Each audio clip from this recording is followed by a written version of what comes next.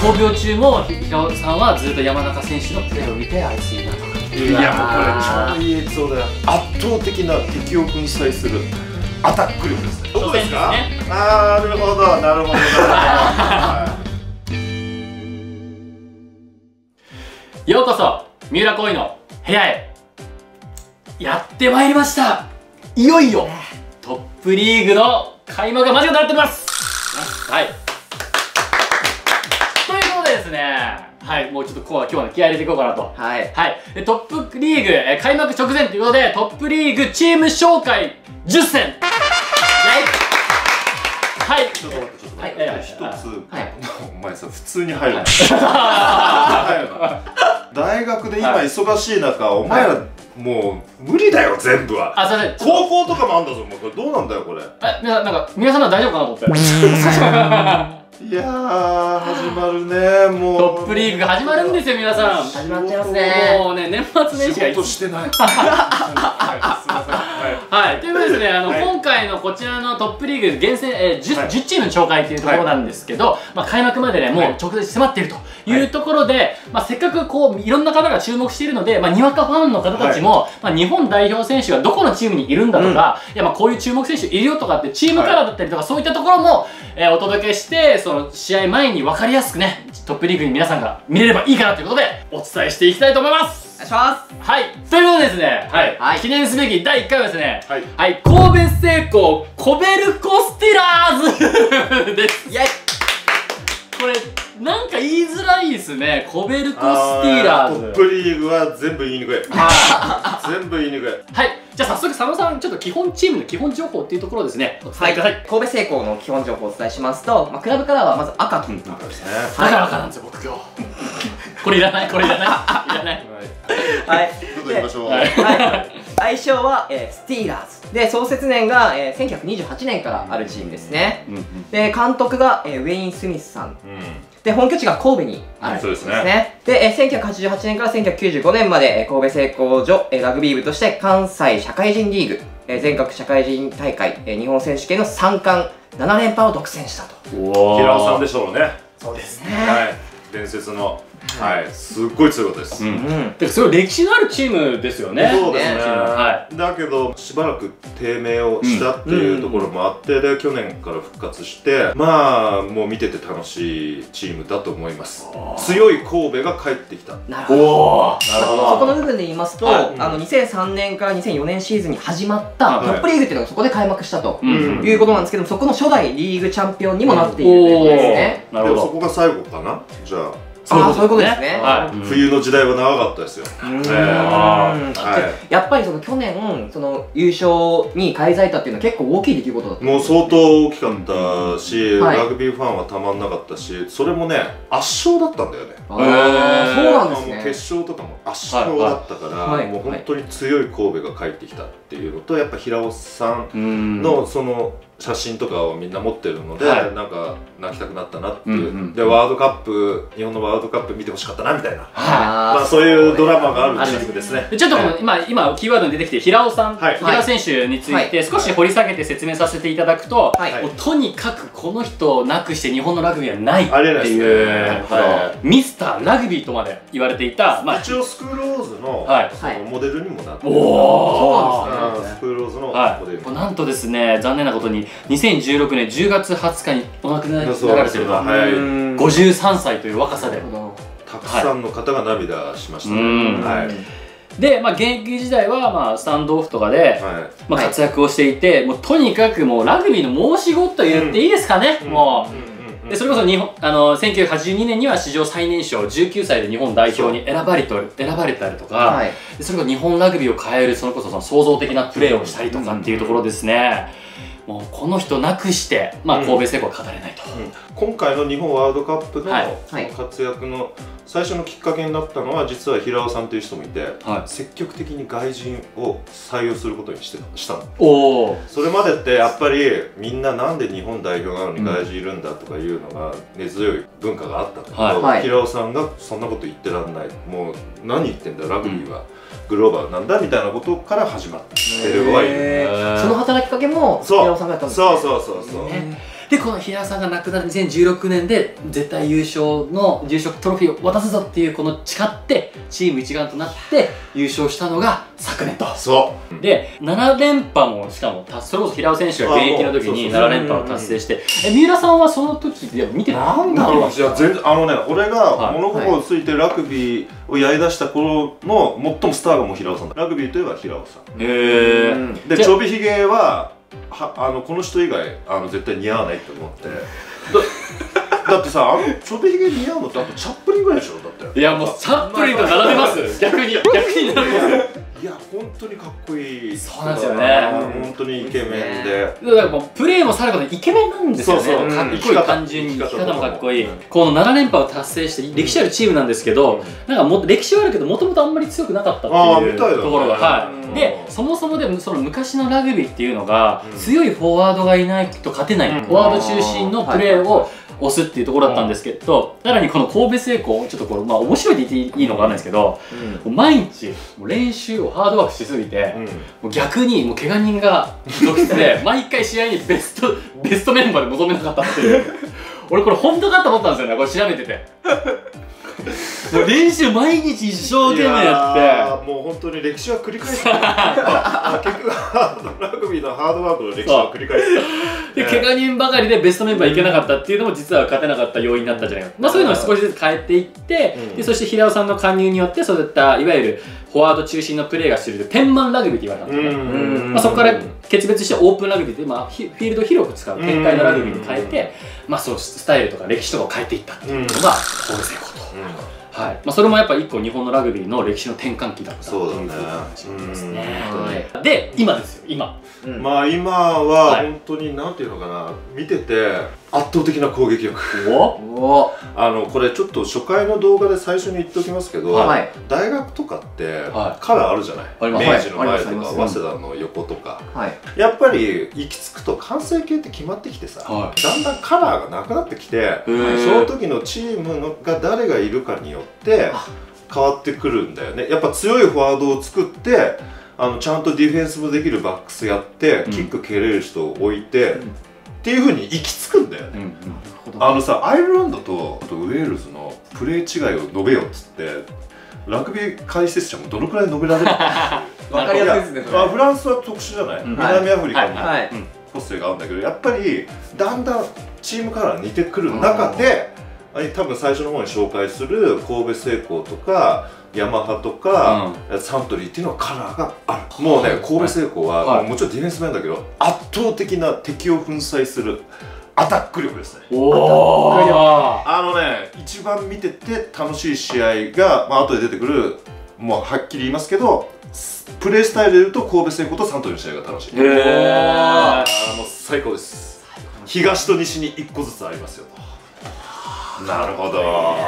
最高ですあとはみんなほら地元のファンとかさ。はだけどあそういうのがない時のラた単にラグビーをにわかの方とかがはい。最初単純に楽しみたいなと思って入り口として神戸製鋼サントリーはおすすめです。まあ破壊力抜群のアタック力しかもいい選手たくさんいるじゃん。はい。ちょっとそこじゃあ日本代表選手ということで、はちょっと佐野さんの方から。そうですね、はい。えー日本代表選手で、えー所属している選手がですね4選手。はい。いましてですもうやばいね。ね上からいきますいきますと、えーラファエレ選手。ナンバーワンイケメンイケメンですね。あーもうで誰もが選ぶ。あのねポスター歌舞伎町で盗まれまくってるらしいよ。マジっすか？ラグビー日本代表関係のポスターは歌舞伎町に1枚もないっていう噂が入ってきました。なるほどね。株どうでもいいどうでもいいですね。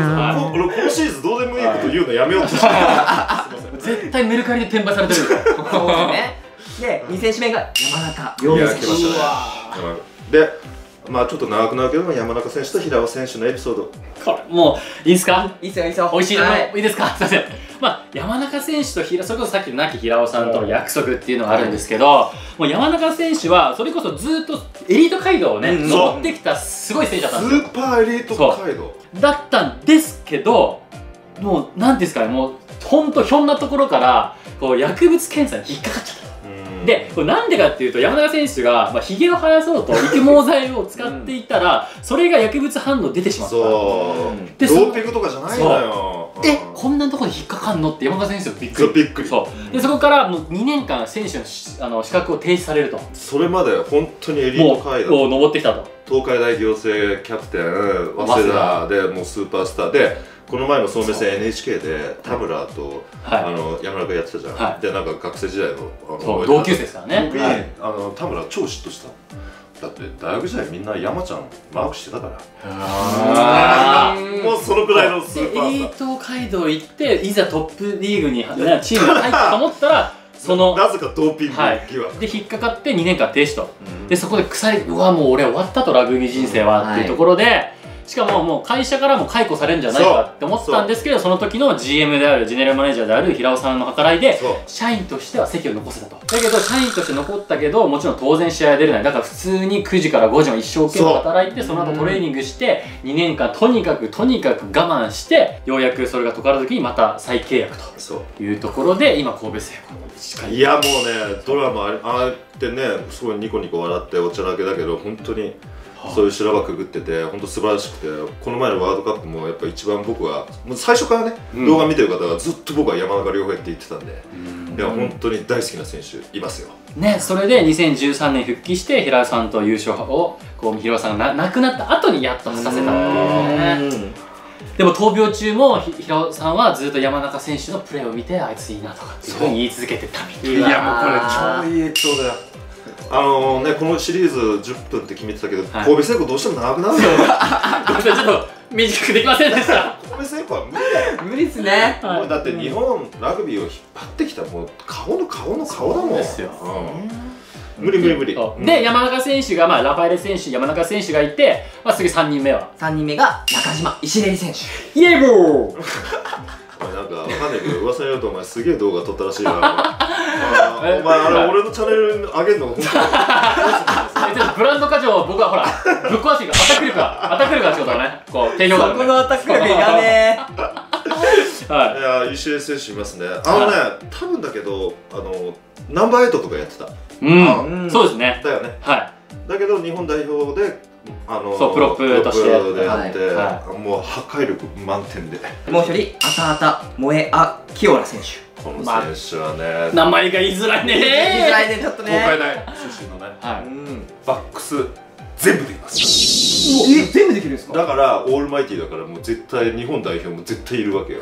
誰が怪我してもね。ああだからもう本当そういうふうに。まあちょっとスタスクラムハーフがちょっと近いだけどやっぱまあ日本代表の中では別にそんなにね注そう目されなかったかもしれないですけど。もし誰かそのセンターとかが怪我してたらやっぱ速攻、まあ入ってたしあとやっぱり彼がいることによってみんな怪我してもあいつがいるからみたいな、だから次のトップリーグ楽しみなのはこういう選手絶対鬱憤溜まってるから。絶対そうですよね。絶対溜まってっから。今度説明する東芝の徳永選手とかもう今もう右肩回しまくってる。もうなるほどマジですね。ああもう本当やばいと思う。あー楽しみです。そしてこのトップリーグ楽しみが日本代表選手以外のここがやや海外注目の選手がまたたくさんいるっていうね。これはすごいっすよねもうねで去年優勝したのがやっぱりはい。伝説のスタンドオフダン・カータうわえー。ほら当時俺フェイスブックで俺興奮してあシェアしてましたしてました。シェアしたけどお前ら誰一人何も反応なかったよな。もう分かんなくていいね押せなかったんですよだから俺も試合見て気づいてうわ来てんのえなんで？えマジ？みたいな。例えるとサッカーでいうメッシバスケでいうマイケル・ジョーダン。でその選手が入ってでやっぱりマイケル・ジョーダンとメッシとかとラグビーが唯一違うのは、メッシとかもさあんまディフェンス求めてねえじゃん、はいははいいラグビーって無理なんだよディフェンスは、でダン・カーター俺やっぱディフェンスチェックしたんだけどもう全然もう頭から体張ってえータックルそこもやるんすね。そこもやるのよ。タンカータ選手ニュージーランド出身で、まあ、のスタンドオフと先輩で年が37歳なんですよね。37です。なのにそんなにもうあの去年もう全然レベルが違いました、キえック。大変なことになってます。あとパスが柔らかい。ええ？あの見てください。にわかの方でも他の方とパスが違います。えにわかでも分かる？わかる。うわ楽しみ。ダン・カーターはわかる。やっぱスクリューは緩やかなこうかかるもうだからとかちょちょぶれないってことあ 俺のはあの回してたのとかわけが違う。じゃないとわけが違う。はい、はい。うん。な感じで、まあ、日本代表選手以外にもこう注目選手がいますよ。おいおい忘れてないの？おあ前。ちょっと抜けてますよ。お前。ちょっ今年から加入。これニュージーランドつながりで。そはい。ブロディ・レタリック選手ロックはい。2メーターぐらいあるでしょどうせ。ありますであのスクラム動画見ていただいた方は分かると思いますがもちろんあのスクラムははいはい。前さんも重要ですけどやっぱ後ろのロックのパワーが重要ですから。えだって後ろにあの選手いるんですよね。います。やばいで多分ですけど石レス選手もナンバーエイトから前行きますよ。言ってました。もうスクラムでしょ言ってたでしょ。言ってました。なんかもうもうバックローはいいって。スクラムやばそうじゃないですか。マジやばいっすもやばいっすでしかも皆さんも触れてらっしゃいましたけどレタリック選手あの見た目で28歳。うやばいでしょ。若い。全然あのダン・カーター選手と違ってなんかこう全盛期が過ぎたから来たとかじゃないんですよ。ちなみに俺の奥さん石レビ45だとずっと思ってた。西出選手若いんですよあとリ結構マイケル31歳が俺らの下げだっつってたうん。本当にだよね。あれは詐欺だった外人さんわかんないよわねかんないですね。ねうん。28歳はい。やばいね。絶対次ワールドカップ出るじゃんまたこれ。出ますね。やっべえなっていう選手が神戸製菓の試合見に行くと漏れなく見て見えてしまうと。はい。やばいですよこれ。関西の方大興奮ですよこれ。東京だけじゃないですもんはい。うん。感じで今日本代表選手と海外のね注目選手がこんだけいるというところでじゃあ開幕試合日程というところなんですけど、どこ初ですか。戦ですね。あーなるほど。なるほど。なるほど。は い1月12日日曜日13時キックオフとはいうところで神戸総合運動公園ユニバー記念競技場とはい。いうところでもう神戸のファンの方たちはもうこぞってね、ただもうチケットがもうあれなんだよね。もう完売なんだよね。はい。あというところで神戸製鋼コベルコスティラーズ対する相手がキャノンイーグルスと。ああね。ボコるだろうねもう田中史選手と、はい。あの田村選手のですね。ボコる姿が見れます。あれれれれどうなんですかね。複あの日本代表を引っ張ってきた2人が。複雑ですね。レベル上がります。あもちろんキャノン強くなりますが、はい。すいません。はい。ちょっとですね。はい。やっぱ4強なんだよね、うん。トップリーグ。なるほど。神戸製鋼パナソニックヤマハサントリー。この4強以外に今神戸製鋼は関西の皆様もう神戸製鋼のあの大勝ちを見たかったらぜひ見に行ってください。おー。あーそこまでもう断言できるってことですね。はい。ということで、まあ、トップリーグが、ね、始まった後も、まあはい。日本代表選手以外に注目選手も出てくると思うんで、それはそれでね、また追って、えーお届け話していけたらなと。どそれはもう事前にすげえ止められてるから あくまでもあれでしょあの日本代表なんかお前ら狙いがあるんだろなんかわかんないけど、まあ、今回は、にわかファンのにわかファンのためによるにわかファンの動画ですから。